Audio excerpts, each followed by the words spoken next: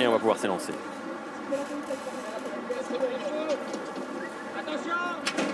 Allez, c'est parti pour le prix riz, la troisième épreuve du jour, support du tierce écarté, quinté plus, avec euh, déjà Balpeloton qui scinde en deux. Après 50 euh, mètres de course tout juste, avec euh, côté corde, on a Der Grau, comme d'habitude, qui est très bien parti. Hopeless, le numéro 10 qui est là également, ainsi que Nadim Alward qui est malé aux avant-postes. Et puis côté corde, on a Kutsu Nakos, le numéro 14, qui semble avoir l'avantage, avec également le numéro 15, le Fortovo, qui est là bien placé. On voit que le 16, Comédiaria, est également bien placé le long de la corde avec George Prince. Un peloton quasiment scindé en 3 avec Grau, qui est le long de la lisse extérieure. Hopeless, le numéro 10, qui est quasiment à sa hauteur.